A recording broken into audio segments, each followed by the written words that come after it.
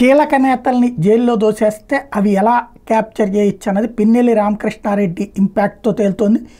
పిన్నెల్లి రామకృష్ణారెడ్డిని జైలుకు పంపించేటప్పటికి మాచర్లో ఉన్నటువంటి వైఎస్ఆర్ కాంగ్రెస్ పార్టీ స్థానిక సంస్థల ప్రజాప్రతినిధులు భయపడిపోయారు. వాళ్ళని తెలుగుదేశం ఇప్పుడు క్యాప్చర్ చేయగలిగింది. టోటల్గా మాచర్ల మున్సిపాలిటీ ఇప్పుడు తెలుగుదేశం పార్టీ కైవసమైంది. ఇరవై మంది కౌన్సిలర్లు వైఎస్ఆర్ కాంగ్రెస్ పార్టీ వాళ్ళు వచ్చి తెలుగుదేశంలో చేరారు. ప్రస్తుత chairman Yesobu vice chairman Poluru Narasimharao కూడా తెలుగుదేశం పార్టీలో చేరారు. లాస్ట్ ఎలక్షన్స్లో ముప్పై ఒక్క కౌన్సిలర్ సీట్లు ఉంటే మాచివరం మున్సిపాలిటీని టోటల్గా క్లీన్ స్వీప్ చేసింది వైఎస్ఆర్ కాంగ్రెస్ పార్టీ.